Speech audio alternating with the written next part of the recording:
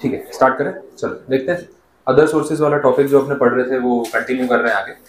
uh, मैंने आपको कल जो टॉपिक्स बताए थे उसका एक ओवरव्यू दे देता हूँ। चार्जिंग सेक्शन देखा था 56 56 में sub section one and two sub section one किसके लिए था? जनरल प्रोविज़न था वो। जो भी चीज़ें बाकी किसी हेड में कवर नहीं होती वो बाई डिफ़ॉल्ट यहाँ पे कवर हो जाएँगी। फिफ्टी सिक्स टू जो है वो स्पेसिफिक लिस्ट है। उसमें टेन इलेवन आइटम्स लिस्टेड है और बोला कि ये सारी इनकम स्पेसिफिकली इसी हेड में टैक्सेबल होगी, किसी और हेड में नहीं जाएगी। ये बेसिक था। अब इसमें हमने अलग अलग टाइप की इनकम देखी casual income winnings from lotteries वो सब पे हम बात कर रहे थे। कि मैनेजरियल पर्सनल की इंश्योरेंस पॉलिसी का पैसा किसको मिलता है, उस पर बात हो रही थी। कॉम्पनसेशन एनहांस कॉम्पनसेशन पे मिलने वाला इंटरेस्ट उस पर बात हुई। अब जो आज मैं पॉइंट यहाँ पे डिस्कस कर रहा हूँ that is regarding gift income और ये काफ़ी इंटरेस्टिंग प्रोविज़न है डिटेल्ड है। और इस चैप्टर के जो बड़े टॉपिक्स हैं, जैसे डिविडेंड है तो वैसे एक गिफ्ट इनकम वाला है जो काफ़ी सारा कंटेंट इसमें कवर करता है। देख लेते हैं। अब गिफ्ट इनकम एग्जैक्टली है क्या? पॉइंट ये है कि आप किसी से गिफ्ट में कुछ रिसीव कर रहे हो। अब गिफ्ट में अगर आप कुछ भी रिसीव कर रहे हो तो तीन कैटेगरी में डिवाइड हो सकता है। एक तो है इन टर्म्स ऑफ़ मनी ठीक है? दूसरा है in terms of immovable property और थर्ड कैटेगरी मूवेबल प्रॉपर्टी अब पॉइंट ये है कि टैक्स बचाने के लिए लोग ये कर सकते हैं कि इनकम जो चीज़ एज एन इनकम मिली है, उसको गिफ्ट बता देंगे कि सामने वाले ने मुझे पैसा मेरी इनकम के हिसाब से नहीं दिया कि मैंने उसको कुछ सेल या सर्विस प्रोवाइड की। जो भी मुझे पे कर रहा है ना, वो गिफ्ट पे कर रहा है, उसने गिफ्ट दिया है। और गिफ्ट का ओकेजन कुछ भी हो सकता है मेरा बर्थडे था तो गिफ्ट दे दिया।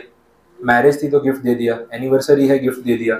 कुछ भी हो सकता है। मंथली एनिवर्सरी मना रहा हूँ। तो हर महीने first month anniversary second month anniversary trending है ना आजकल, ठीक है? तो बोले, हर महीने एनिवर्सरी मनाता हूँ, यकीन नहीं हो रहा अभी तक। तो हर महीने एनिवर्सरी सेलिब्रेट कर रहा हूँ कि शादी हो गई है। तो हर महीने गिफ्ट आते रहते हैं। तो जो भी मंथली इनकम है ना, वो गिफ्ट के नाम पे दिख रही है। गिफ्ट में मैंने कुछ कमाया थोड़ी ना तो सामने वाले ने गिफ्ट दे दिया तो इसमें भी टैक्स भरूँ। गवर्नमेंट ने यहाँ पे बोला कि भाई, आपको कोई गिफ्ट दे रहा है, ठीक है। गिफ्ट हमें ही पता है कौन कितना गिफ्ट आज के टाइम में किसी को दे सकता है।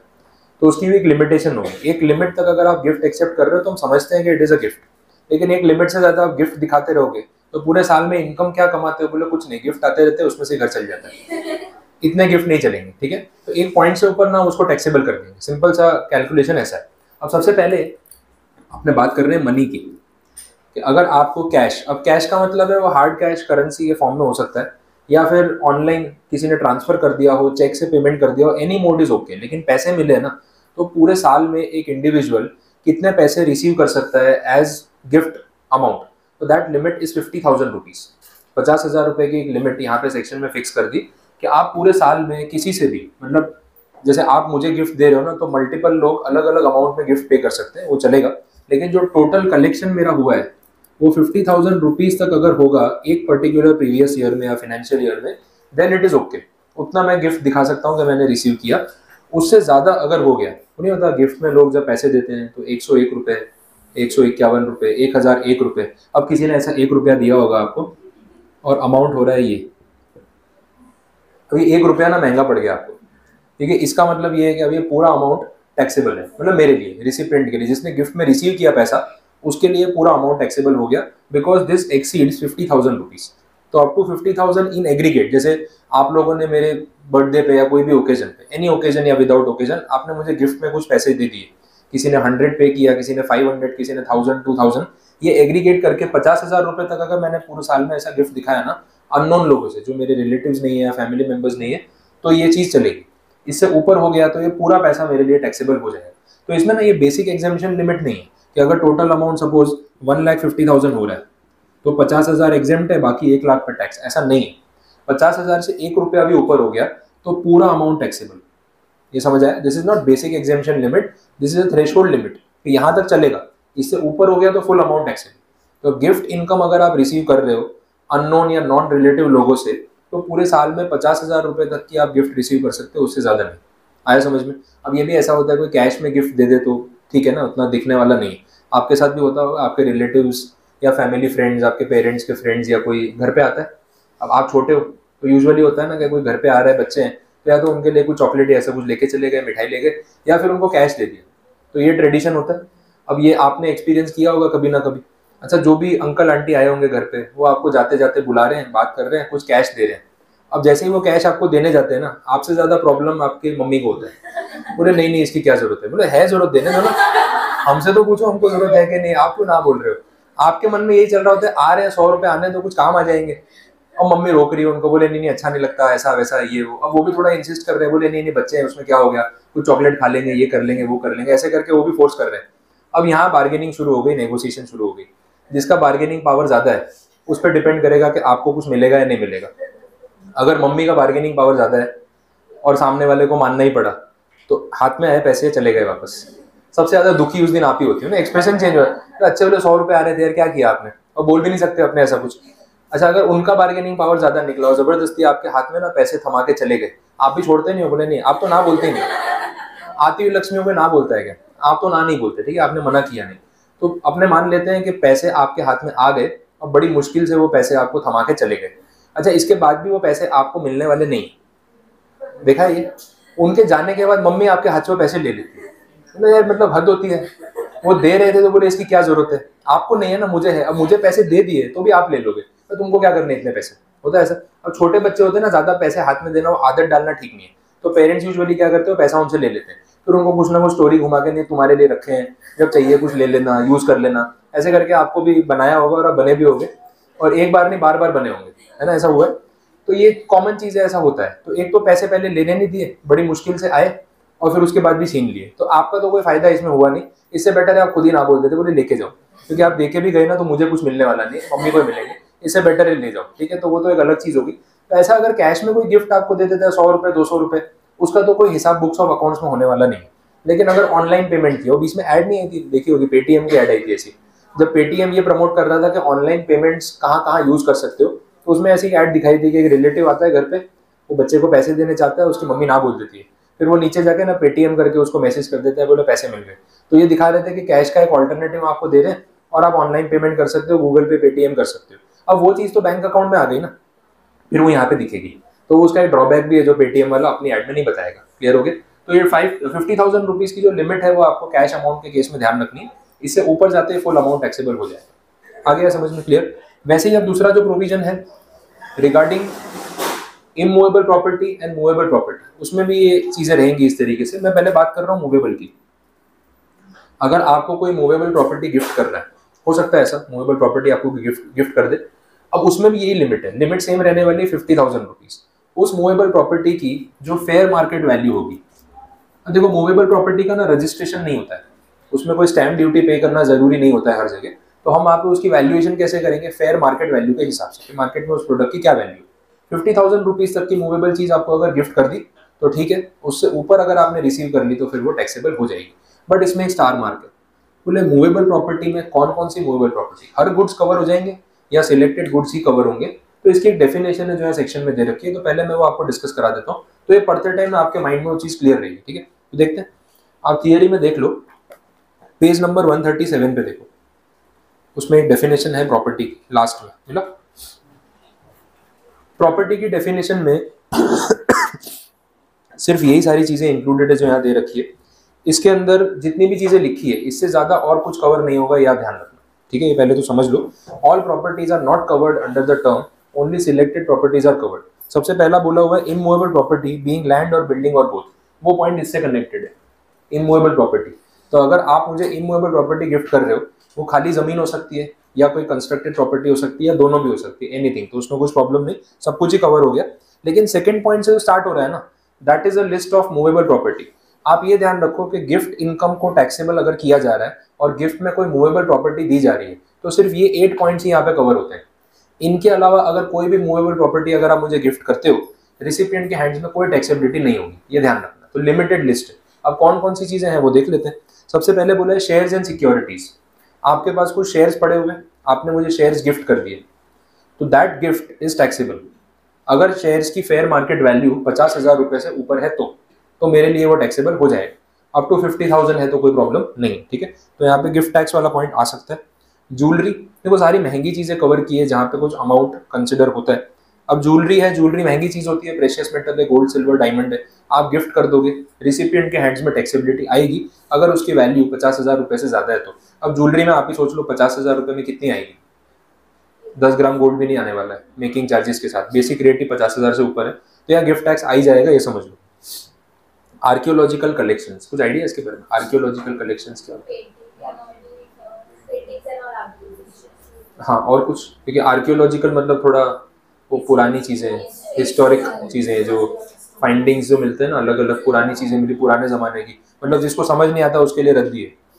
जिसको समझ में आ गया, वो करोड़ों रुपए पे कर रहा है उसके। आर्कियोलॉजिकल चीज़ें जो पुराने ज़माने की चीज़ें हैं जिसको हिस्टोरिक मानते हैं और उसका सेल परचेज ऑप्शन एग्जीबिशन जैसे आपने बोला वो सब होता है। तो archaeological collections are actually antiques जो अपने बोलते हैं। एंटिक्स की बात हो रही है। तो एंटिक्स की वैल्यू आप कॉस्ट पे नहीं लगा सकते। उसकी वैल्यू उस पर ये एंटिक प्रोडक्ट जो भी है, वो हिस्ट्री में किसके पास था, उसको, उसकी कितनी वैल्यू लगाई जा रही है, पैसा देने वाला कितना देने को रेडी है। तो दैट इज़ एंटिक्स या फिर आर्कियोलॉजिकल कलेक्शंस ये सब चीज़ें ऑप्शन पे और बोली लगती है। और इतनी महँगी बिकती है कि price is not the limit तो ऑब्वियसली यहाँ पे गवर्नमेंट इसको कवर करेगी जब गिफ्ट की बात आ रही है। तो ऐसे कोई एंटिक जो बहुत प्रेशियस है, आपने किसी को गिफ्ट कर दिए तो रिसिपियंट के लिए वो टैक्सेबल होंगे, ठीक है? ऑब्वियसली वो होना है। नेक्स्ट पॉइंट में जो आपने बोला, वही आ गया। Drawing painting sculptures art work ये वो जो अपने को समझ में नहीं आता। महँगी महँगी पेंटिंग्स होती है, आपने देखा होगा। बड़े बड़े पेंटर्स होते हैं, कुछ नहीं बनाया उसके अंदर। मतलब ऐसी पेंटिंग है कि आप भी कुछ ना कुछ ब्रश चलाओगे तो बनी जाएगी। लेकिन फिर भी एक करोड़, दो करोड़, पाँच करोड़, पता नहीं कितने मिलियन डॉलर का ऑप्शन होता है और इतने महँगे में एक्चुअली में बिकती है। और बड़े बड़े लोग जो मतलब एकदम हाई रिच कैटेगरी के लोग हैं ना, वो अपने बंगलोज में मैंशन में, वो ऐसी बड़ी बड़ी पेंटिंग जिसमें कुछ नहीं है, वो अपने ड्राइंग रूम में लगाते हैं। ठीक है? बीच में आया था मैंने ऐसी मतलब वियर्ड पेंटिंग्स थी और आया था कि कितने हैवी अमाउंट पे सेल हो रही है। तो एक पेंटिंग में पूरा जो कैनवस था ना, वो कैनवस पे ना एक येलो शेड था और एक ब्लू शेड था। बस इतना ब्रश मारा हुआ था। वो पेंटिंग पता नहीं पचास लाख रुपए से ऊपर ऑप्शन में बिकी। इमेजिन करो, आप गूगल पे सर्च करना आपको मिलेगा, ठीक है? तो अपना मजनू भाई नहीं? हाँ। वैसे पेंटर कुछ भी बना रहे हैं, ठीक है? गधा, घोड़ा, कुछ भी बना दिया, घास खा रहा है, नहीं खा रहा है, कुछ भी एनीथिंग एब्स्ट्रैक्ट आर्ट बोलते हैं उसको। एब्स्ट्रैक्ट आर्ट का मतलब समझ कुछ नहीं आता है, लेकिन पैसा बहुत है देने के लिए तो दे रहे हैं, ठीक है? That is abstract art abstract का मतलब भी होता है जो है ही नहीं।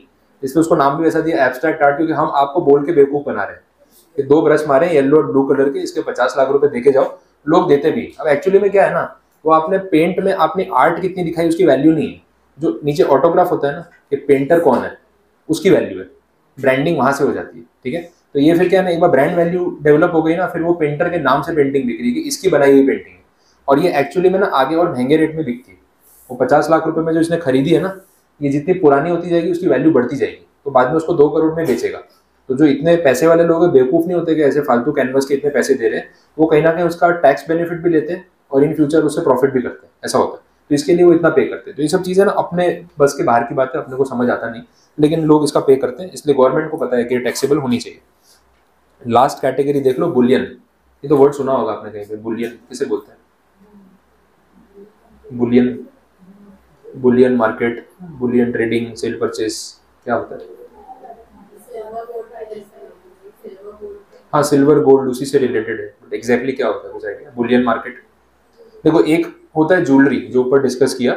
ऑर्नामेंट्स के फॉर्म फॉर्म में प्रेशियस मेटल्स का होना. एक होता है आपका gold coin gold biscuit gold bar जो ऑर्नामेंट्स के फॉर्म में नहीं है बेसिक फॉर्म में. ठीक है? That is bullion gold coin को बुलियन बोलते हैं. गोल्ड का जो कॉइन है बार है, उसको आप बुलियन बोल सकते हो, वैसा. दैट इज़ बुलियन और कुछ नहीं. तो बुलियन मार्केट का मतलब कि जब आप गोल्ड खरीद रहे हो फॉर इन्वेस्टमेंट पर्पज और इसमें आपको ये ध्यान भी रखना चाहिए, अगर आप इन्वेस्टमेंट के लिए गोल्ड खरीद रहे हो ऑर्नामेंट्स के फॉर्म में मत खरीदो। अगर आप सिर्फ़ इन्वेस्ट करना चाहते हो, उसको पहनना चाहते हो, अलग बात है। अगर आप सिर्फ़ इन्वेस्ट करना चाहते हो तो आप उसको ऑर्नामेंट्स के फॉर्म में कभी मत खरीदो because that is a loss making transaction आप जो ऑर्नामेंट्स के फॉर्म में ज्वेलरी परचेस कर रहे हो बोले इन्वेस्टमेंट है। एक्चुअली में तो डेड इन्वेस्टमेंट से कम नहीं। क्योंकि एक बार आपने ज्वेलरी के फॉर्म में बनवा लिया तो गोल्ड का पैसा तो आप दे रहे हो प्लस मेकिंग चार्जेस और जीएसटी भी दे रहे हो। मेकिंग चार्जेस चौदह पंद्रह परसेंट से पच्चीस तीस परसेंट तक जाते हैं गोल्ड की वैल्यू पे। समझ आ रहा है? तो पचास हज़ार का गोल्ड अगर यूज़ हो रहा है ना, उसके अंदर नाइन टेन ग्राम्स तो उसमें आपका, आप सोच लो fifteen percent to thirty percent कितना हो गया। समझ में आ रहा है? तो आपने इतना हैवी मेकिंग चार्ज पे कर दिया फॉर डिज़ाइनिंग तो जीएसटी तो उस पर लगने ही वाला है तीन परसेंट। अब जब आप ये ज्वेलरी इन्वेस्टमेंट के बाद कभी आपको पैसों की ज़रूरत है आप बेचने जाओगे तो मेकिंग का चार्ज थोड़ी वापस मिलेगा। वो तो उसका रेम्यूनरेशन जो मेहनत की उसने उसको ज्वेलरी के फॉर्म में कन्वर्ट करने की वापस नहीं मिलेगा। तो 20-25 परसेंट तो आपका मेकिंग में कट गया। बाकी का पैसा आपको वापस मिलेगा। और वैसे भी गोल्ड खरीदने और बेचने के रेट में वेरिएशन होता है तो लॉस हो जाएगा। तो अगर आप इन्वेस्टमेंट के लिए खरीद रहे हो इन फ्यूचर कभी आपको उसको बेच के इनकैश करना है, कुछ और प्रॉपर्टी खरीदनी है एनीथिंग तो बेटर आप उसको कॉइन के फॉर्म में परचेज करो, क्योंकि उसमें ना सिर्फ़ सर्टिफिकेशन का चार्ज होता है, और उसमें भी विदाउट सर्टिफिकेशन भी मिलता है। वो फिर आपके रिस्क पे है कि आपको उसको ऐसे खरीदना है कि नहीं। सर्टिफिकेशन इन द सेंस कि गवर्नमेंट का सर्टिफिकेट होता है कि ये गोल्ड वेरीफाइड है टेस्टेड है और ओरिजिनल है। और एक होता है विदाउट सर्टिफिकेट ओपन मिलता है। तो उसमें ना सर्टिफिकेट का 200-400 रुपए का चार्ज आपका बच जाता है। तो आपके पास ये मल्टीपल ऑप्शंस है। अच्छा फ़िज़िकल गोल्ड में नहीं जाना हो तो आप ई गोल्ड भी परचेज कर सकते हो। इसके गोल्ड बॉन्ड्स आते हैं जो इंडियन गवर्नमेंट आरबीआई खुद इशू करती है। इसको सोवरेन गोल्ड बॉन्ड्स बोला जाता है। फ़िज़िकल गोल्ड मत खरीदो, आप डिजिटल गोल्ड खरीद। लो अभी आजकल पेटीएम पे भी आप परचेज कर सकते हो। देखना ऑप्शन आता है। पेटीएम पे ऐप पे जाना पेटीएम गोल्ड का ऑप्शन आता है।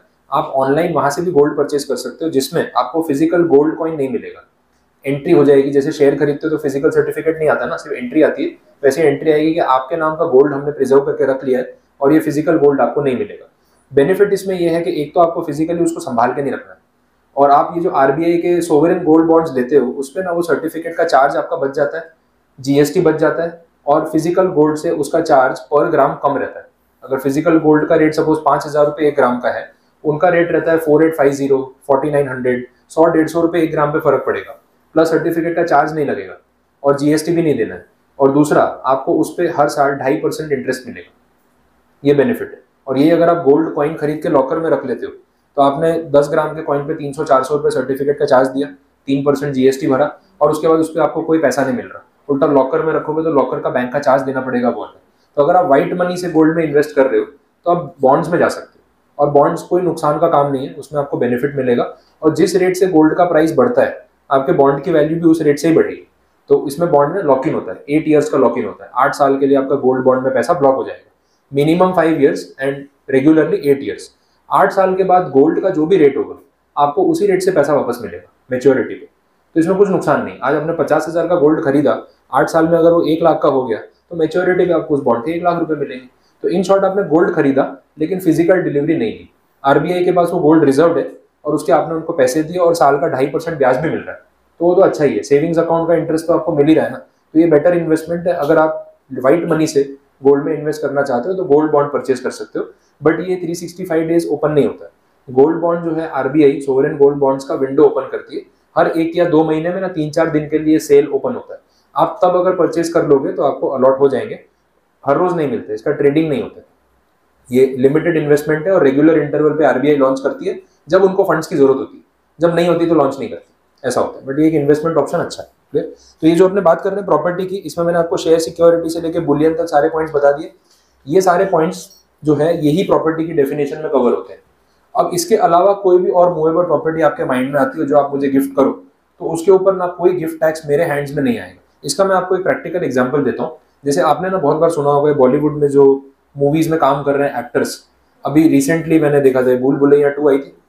कार्तिक आर्यन एक्टर थे अब टी सीरीज़ मूवी जो है टी सीरीज़ जो ग्रुप है, उन्होंने मूवी प्रोड्यूस की थी। भूषण कुमार उसके अभी ओनर है। भूषण कुमार ने कार्तिक आर्यन को एक स्पोर्ट्स कार गिफ्ट कर दी। आपने देखा मैकलेरन गिफ्ट की थी, ठीक है? फ़ोटो वीडियो काफ़ी आया था। अब वो गाड़ी जो गिफ्ट कर दी, उन्होंने क्या दिखाया कि बोले, इतना अच्छा कलेक्शन हुआ मूवी सुपर हिट हुई तो हमने गिफ्ट में दिए गाड़ी। समझ आ रहा है? एक्चुअली में गिफ्ट नहीं होता है। उसका रीजन समझो, उसको गिफ्ट दिखाते हैं। भूषण कुमार को कार्तिक आर्यन को पैसे देने थे मूवी के लिए जो उसने काम किया, उसकी फ़ीस देनी थी। सपोज़ वो फ़ीस का अमाउंट है दो करोड़ रुपए या चार करोड़ रुपए, कुछ भी अमाउंट आप मान लो। तो चार करोड़ रुपए अगर T Series company Kartik Aaryan को पे करती है तो चार करोड़ कार्तिक आर्यन की टैक्सेबल इनकम है या नहीं? है? अब वो चार करोड़ की इनकम पे इंडिविजुअल टैक्स कितना पे करेगा? स्लैब रेट से आपको पता ही है थर्टी परसेंट स्लैब में जाएगा तो आप गिनो तो एक डेढ़ करोड़ रुपए तो उसका टैक्स में चला गया। समझ आए अच्छा बचे हुए पैसों में से वो गाड़ी खरीदेगा तो मैकलेरन नहीं आएगी चार करोड़ का बजट था, उतने में नहीं आएगी उसने भूषण कुमार को बोला कि देखो, आप जो मुझे पैसा दोगे ना, मुझे एक्चुअली मुझसे स्पोर्ट्स कार खरीदनी है। आप खरीद के मुझे गिफ्ट कर दो। ट्रांजेक्शन को समझो। अब भूषण कुमार का क्या जाता है? उसको चार करोड़ देने अब भाई तू चार करोड़ कैश में ले ले या चार करोड़ की गाड़ी ले ले, मुझे फ़र्क नहीं पड़ता। मेरे नाम से खरीद के तुझे गिफ्ट कर देता हूँ। तो भूषण कुमार ने चार करोड़ रुपए गाड़ी इंपोर्ट की, कार्तिक आर्यन को गिफ्ट कर दी। अब इसमें कार्तिक आर्यन को कोई टैक्स लगा? चार करोड़ की गाड़ी पे एक करोड़ टैक्स देना पड़ेगा, ऐसा कुछ लगा? नहीं, उसका रीजन पता है क्या है? क्योंकि टी सीरीज़ कंपनी के नाम से गाड़ी परचेज की गई, कार्तिक आर्यन को गिफ्ट की गई, जिसने गिफ्ट रिसीव किया, उसने क्या रिसीव किया? मूवेबल प्रॉपर्टी मूवेबल प्रॉपर्टी की डेफिनेशन में आप जाके देखो, क्या लग्जरी कार स्पोर्ट्स कार इस लिस्ट में है? अगर नहीं है तो गिफ्ट टैक्स आएगा क्या? नहीं आएगा। तो रिसिपियंट के हैंड्स में एक रुपया भी टैक्स नहीं लगा। अब यही अगर वो चार करोड़ मांग के, फिर उसमें से गाड़ी खरीदता तो एक सवा करोड़ उसका टैक्स चला जाता। अब वही चीज़ गाड़ी के फॉर्म में उसने ले ली, एक रुपए का भी टैक्स नहीं लगा। एक्चुअली में कोई किसी को ना ऐसे दो चार करोड़ की गाड़ियाँ गिफ्ट नहीं करता। भले वो टी सीरीज़ वाला क्यों ना खुद के लिए ना खरीदे। एक गिफ्ट नहीं होता है। ये पेमेंट इन काइंड होता है। लेकिन इसमें जो लीगल प्रोविज़न है, उसमें गवर्नमेंट या डिपार्टमेंट टी सीरीज़ को या कार्तिक आर्यन को नोटिस नहीं भेज सकता कि आपने टैक्स की चोरी की। बोले, मैंने कहाँ चोरी की? मैंने मूवी के लिए फ़ीस चार्ज करनी थी। मैंने फ्री में काम किया। मुझे, मेरी मर्ज़ी है ना, मैं फ्री में काम करूँ, पैसा लूँ। मूवी हिट हो गई। प्रोड्यूसर ने मुझे गाड़ी गिफ्ट कर दी। आपको क्या प्रॉब्लम है उसको गाड़ी पे अगर मैंने कोई गिफ्ट लिया है, कोई टैक्स लगता है, आपके सेक्शन में कहाँ लिखा है कि टैक्स लगता है? तो भाई नहीं लगेगा। तो सीधी बात है, यहाँ पे ये टैक्स सेविंग ट्रांजेक्शन है। ये कोई ऐसा इमोशनल वे में दिया हुआ कोई गिफ्ट नहीं। ये टैक्स सेविंग ट्रांजेक्शन आया समझ में? और ये बहुत कॉमन है। आपने पहली बार नहीं सुना होगा, बहुत बार ऐसा देखा होगा। कितनी बार क्या होता है करण जौहर की मूवी है। शाहरुख खान ने कैमियो रोल कर लिया दो पाँच मिनट का रोल करके चला गया। उससे उसकी मूवी हिट हो गई। अब करण जौहर ने ना गुड फेथ में शाहरुख खान को एक गाड़ी गिफ्ट कर दी। वो गिफ्ट नहीं होता है। वो एक्चुअली में फ़ीस होती है। लेकिन इन काइंड होती है। बोले, मैं गाड़ी लेने वाला हूँ, आप गाड़ी खरीद के मुझे गिफ्ट कर दो, क्या फ़र्क पड़ेगा? अल्टीमेटली गाड़ी मेरे नाम पे मुझे मिल गई, लेकिन टैक्स हमारा जो है वो सेव हो गया।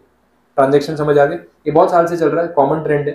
बीच में भी आया था, अमिताभ बच्चन ने जब रोल्स रॉयस परचेज की थी तो उनकी एक मूवी आई थी एक एकलव्य वो एकलव्य मूवी जो है राजकुमार हिरानी जो जिन्होंने पी के थ्री इडियट्स बनाई ना, उन्होंने बनाई थी। तो उन्होंने क्या बोला कि बोले, अमिताभ बच्चन ने मेरी मूवी में काम किया तो मैंने एज अ गुड जेस्टर उनको गिफ्ट में रोल्स रॉयस गाड़ी प्रेजेंट कर दी। वो गिफ्ट नहीं है, वो अगेन फ़ीस है। लेकिन रीजन क्या है? टैक्स सेविंग समझ आ गया? तो ये गिफ्ट टैक्स का जो पॉइंट है, इसको यूज़ करके वो लोग ट्रांजेक्शन को इस तरीके से सेट करते हैं कि इनकम टैक्स का कोई पॉइंट ही नहीं आएगा और लीगल है, बिल्कुल लीगल है, इसमें कोई चोरी वाली बात नहीं। समझ में आ गया? तो लग्जरी ब्रांडेड वॉचेज है। कितनी बार आप देखो डायमंड वॉच या ऐसा कुछ गिफ्ट कर दिया स्पोर्ट्स बाइक गिफ्ट कर दी लग्जरी कार गिफ्ट कर दी। ये लोग गिफ्ट में ऐसी चीज़ें दिखाते हैं जो इस लिस्ट में कवर नहीं होती। कभी ऐसा देखा आपने ज्वेलरी गिफ्ट की? दो चार करोड़ के शेयर गिफ्ट कर दिए, नहीं करेंगे। कोई पेंटिंग गिफ्ट कर दी, नहीं करेंगे, क्योंकि वहाँ पर टैक्स लग जाएगा। लेकिन गाड़ी में और बाइक में और लग्जरी वॉचेस में नहीं लगेगा, इसलिए फिर वो लोग वही चीज़ें गिफ्ट करते हैं। क्लियर ये पॉइंट ठीक है? प्रॉपर्टी वाला नहीं आएगा कभी का फ्लैट गिफ्ट कर दिया बंगलो गिफ्ट कर दिया, क्योंकि वो फिर इमूवेबल प्रॉपर्टी में टैक्सेबल हो जाएगा।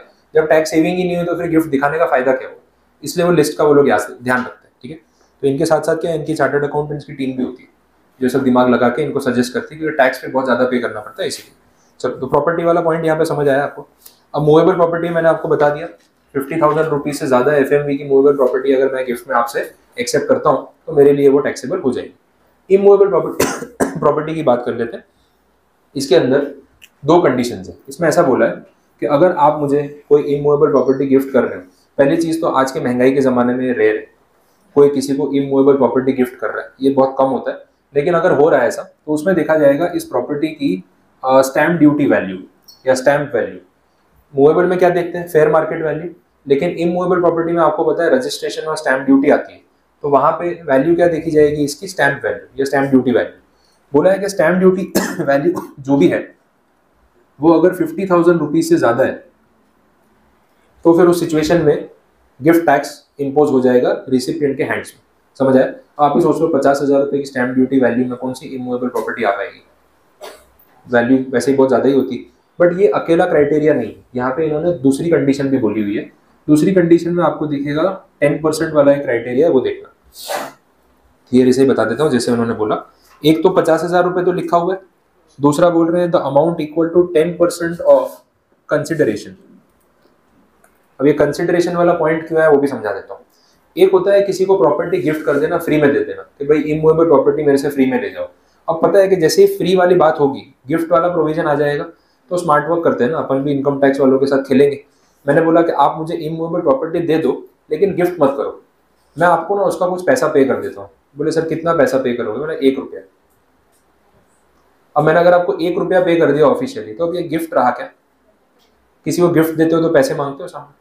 बोले, देखो यार बजट तो हमारा कम था, लेकिन गिफ्ट थोड़ा महँगा देना पड़ रहा है। डिफरेंस के पैसे तो दे दो। पाँच हज़ार का गिफ्ट लाए हैं, दो हज़ार दे दो, बस तीन हज़ार का गिफ्ट मान लो। चलेगा, ऐसा अच्छा लगेगा? बोले तो ये भी लेके जा, नहीं चाहिए तेरा गिफ्ट। समझ में आ गया? तो गिफ्ट वो होता है विच इज़ विदाउट कंसिडरेशन अब मैंने अगर आपको प्रॉपर्टी का वन रुपी पे कर दिया तो ये गिफ्ट रहा क्या टेक्निकली गिफ्ट से बाहर हो गया।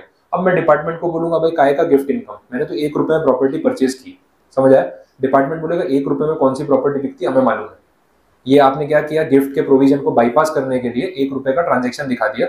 इसको बोलेंगे property which is transferred for inadequate consideration inadequate मतलब जितना पैसा बनता था, उतना चार्ज नहीं किया। कम चार्ज कर लिया सिर्फ़ गिफ्ट के प्रोविज़न से बचने के लिए। तो उसके लिए उन्होंने कंडीशन लगा दी। ठीक है? तो एक तो बोला, अगर प्रॉपर्टी की वैल्यू पचास हज़ार से ज़्यादा है और आपने सामने वाले को गिफ्ट कर दी तो प्रॉब्लम अगर इनएडिक्वेट कंसिडरेशन एक्सचेंज हुआ है तो उसमें ये भी एक लिमिट आएगी टेन परसेंट वाली ये लिमिट मैं आपको एग्ज़ाम्पल के साथ समझाता हूँ कि कैलकुलेशन कैसे होगा तो ज़्यादा रिलेट हो जाएगा। तो अपने कुछ एग्ज़ाम्पल इसका फ्रेम कर देते हैं।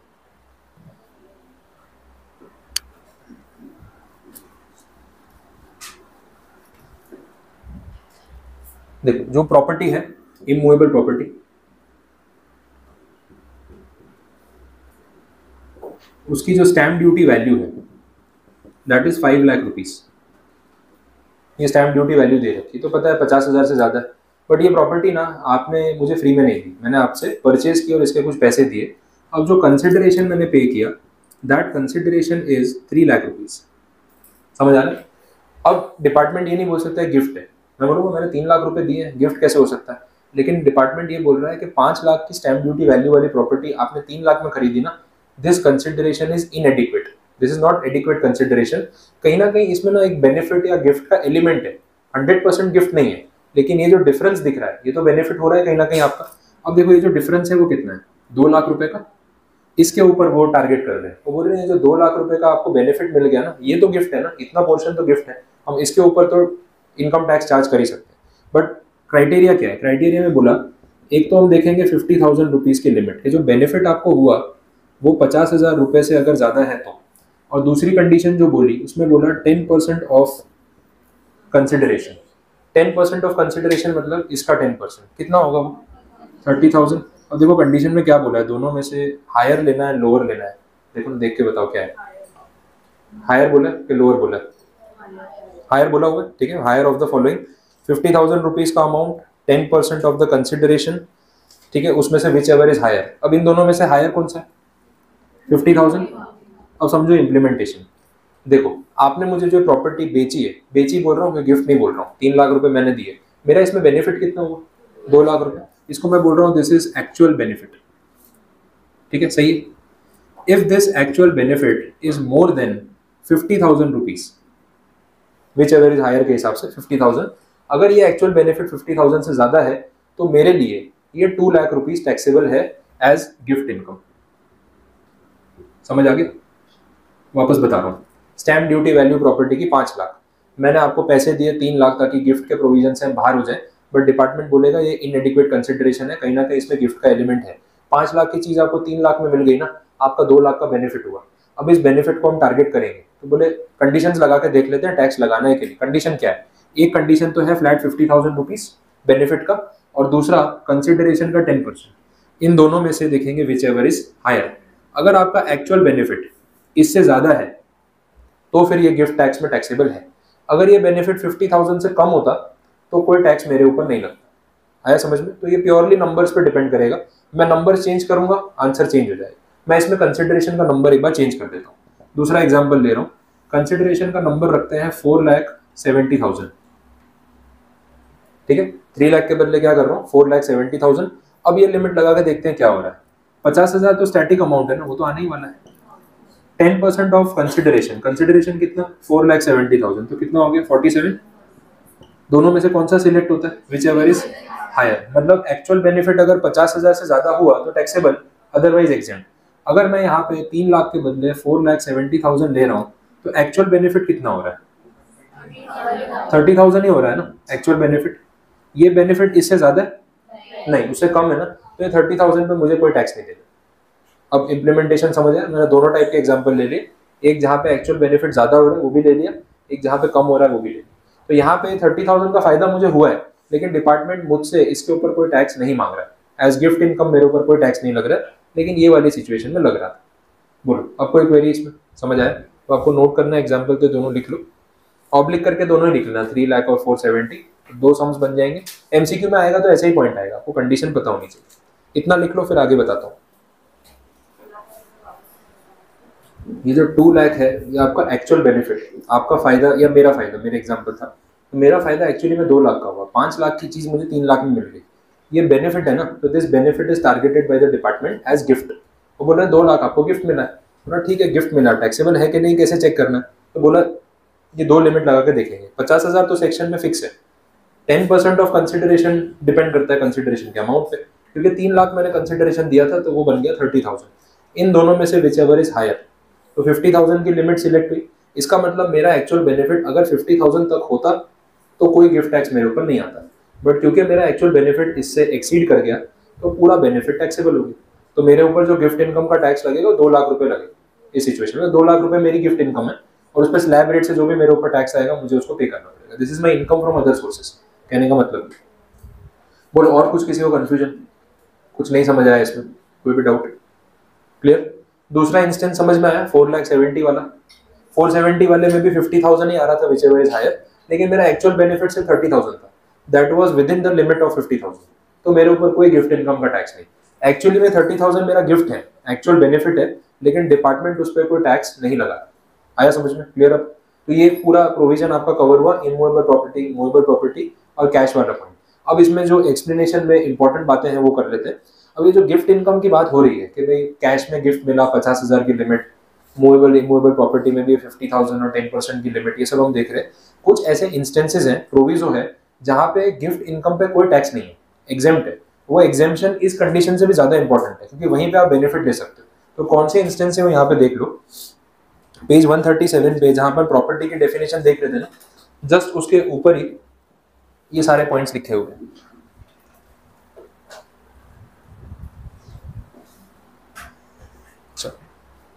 ठीक तो ये एक एक करके डिस्कस कर लेते हैं। अब ये वो प्रोविजो है जहाँ पे गिफ्ट टैक्स नहीं लगता। बड़ी काम की चीज़ है। क्योंकि इन फ्यूचर प्रैक्टिकली आपके रियल लाइफ में कभी भी ये काम आ सकता है। सबसे पहले पॉइंट में ऐसा बोला, आपको अगर आपके रिलेटिव से कोई भी गिफ्ट मिला है रिलेटिव से तो वो गिफ्ट का अमाउंट एक्स वाई जेड कुछ भी हो रिसिपियंट के हैंड्स में नो गिफ्ट टैक्स समझ आए तो आपके रिलेटिव्स अगर आपको कोई गिफ्ट दे रहे हैं तो पचास हज़ार की गिफ्ट हो या पाँच करोड़ की रिसिपियंट के हैंड में कोई टैक्स नहीं लगता, ये ध्यान रखो। अब इसमें स्टार मार्क आ जाएगा सर रिलेटिव मतलब कौन कौन इंडिया में डेफिनेशन को डिफाइन करना बहुत ज़रूरी है।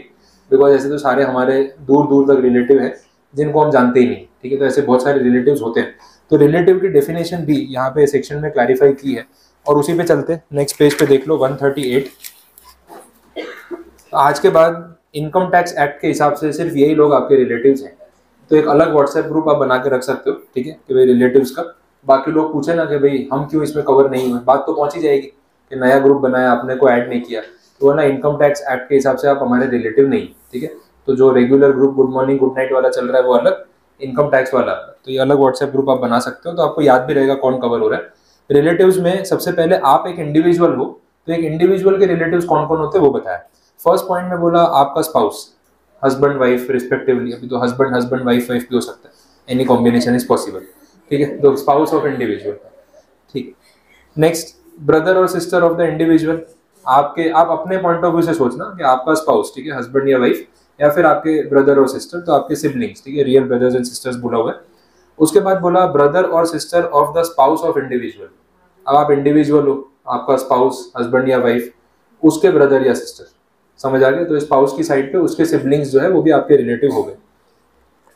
नेक्स्ट ब्रदर और sister of either of the parents of individual कौन कौन आएँगे इसमें? आंटी? नहीं। आ सकते हैं आंटी मतलब मासी वाली साइड पे तो आ सकते हैं। तो आप, आपके पेरेंट्स मतलब आपके मम्मी पापा और मम्मी के भाई बहन मतलब मामा और मासी और पापा के भाई बहन मतलब चाचा और बुआ। चाचा, चाची नहीं, चाचा और बुआ, है ना? पापा की बहन हो गई ना भाई और बहन। तो पेरेंट्स के सिबलिंग्स तो ये चार लोग आ गए ना, चाचा, बुआ, मामा और मासी। अभी इनको अनमेरिड गिन के अपने चल रहे हैं, ठीक है? तो ये इंडिविजुअली चार लोग आ गए, ठीक है? तो ये आपके रिलेटिव्स हैं। इसके बाद नेक्स्ट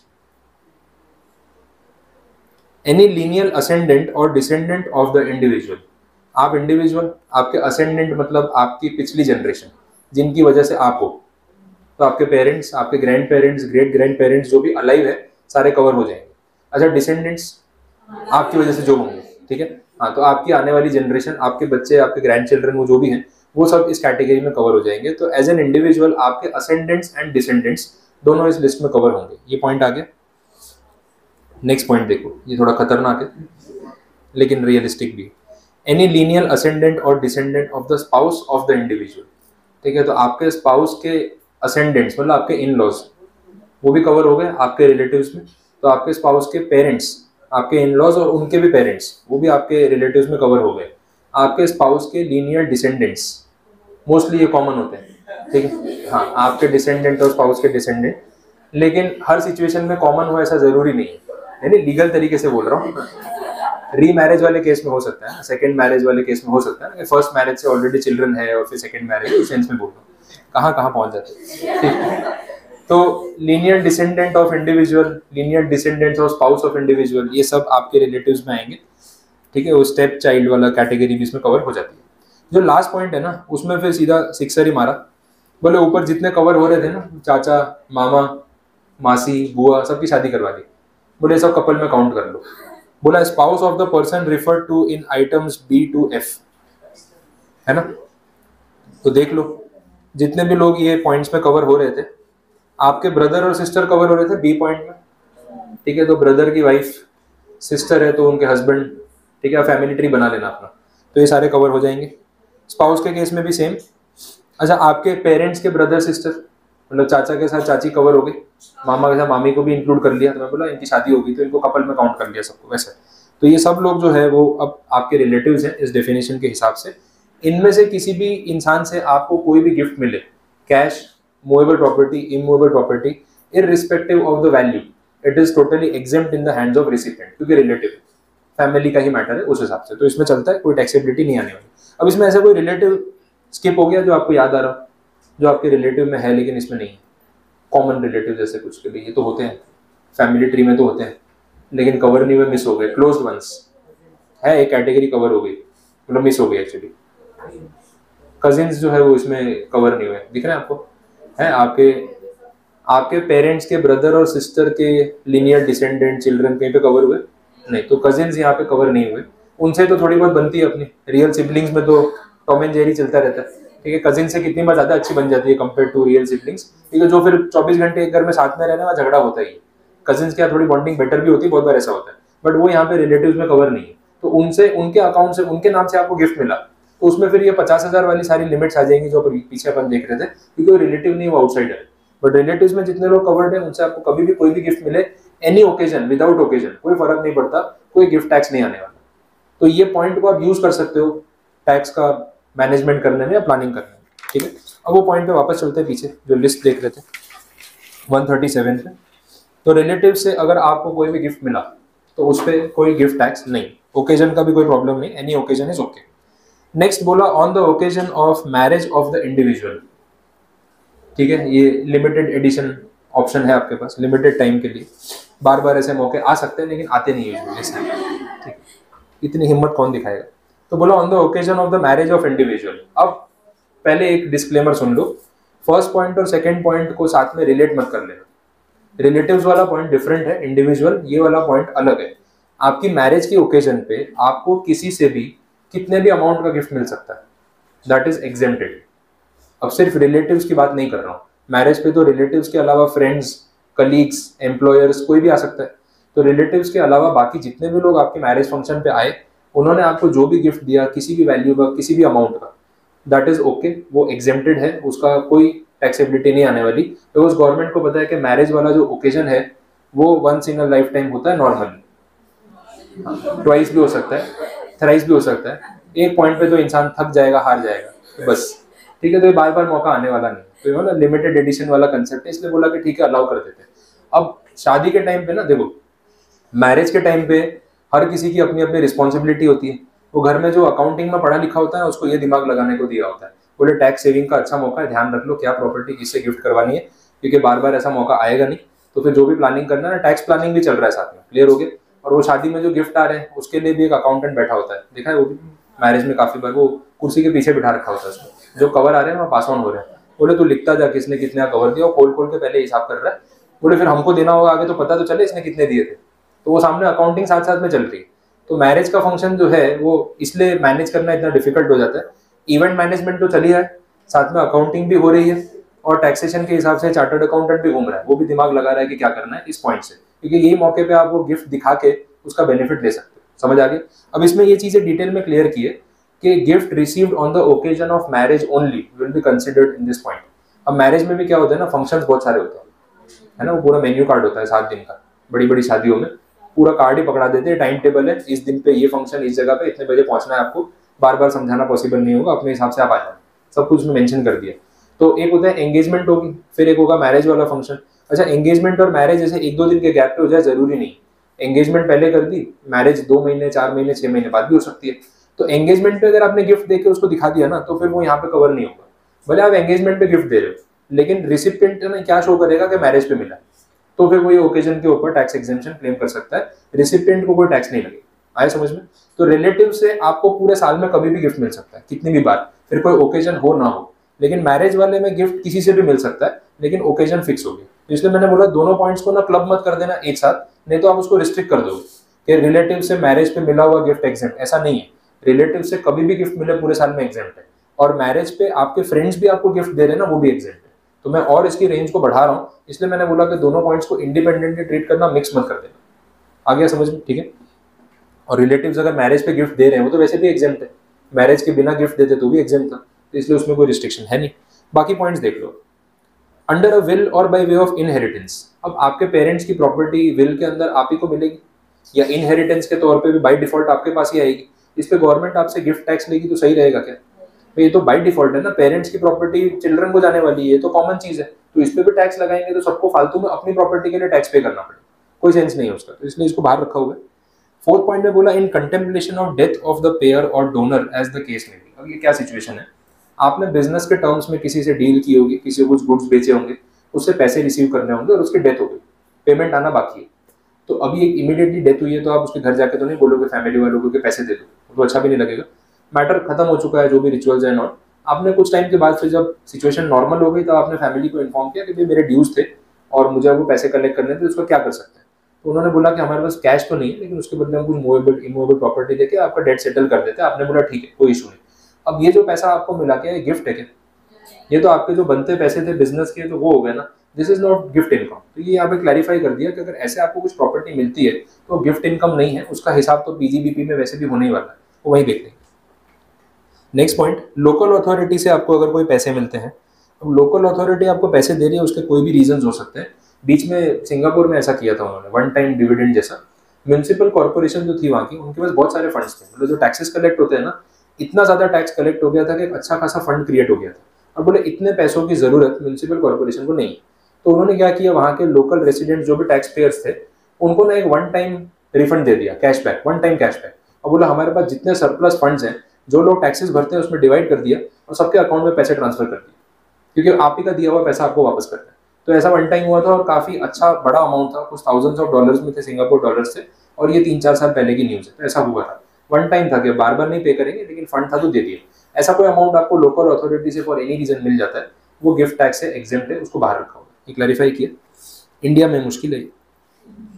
यहाँ पे पॉसिबल ही नहीं ऐसे बोल सकते इम्पॉसिबल ठीक है नेक्स्ट फ्रॉम एनी फंड और फाउंडेशन और यूनिवर्सिटी और एजुकेशन इंस्टीट्यूशन आप इसको स्कॉलरशिप बोल सकते हो। ये जो पॉइंट है यहाँ पे, किसी फाउंडेशन से, कोई यूनिवर्सिटी से एजुकेशन इंस्टीट्यूशन से, किसी हॉस्पिटल से, कोई ट्रस्ट से आपको कुछ पैसा मिला है। दैट इज़ स्कॉलरशिप ठीक है? फंडिंग हो सकती है स्कॉलरशिप हो सकती है। ट्रस्ट वाले हेल्प करते हैं बहुत सारे लोगों की एजुकेशन के लिए मेडिकल फैसिलिटीज़ के लिए तो वो वो पॉइंट हो गया। तो दैट इज़ नॉट टैक्सेबल अब जिसको पैसा दिया जा रहा है, वो एक्चुअली में उसको नीड है पैसों की। अब वो पहले फंड रिसीव कर रहा है क्योंकि उसके पास पैसा है नहीं।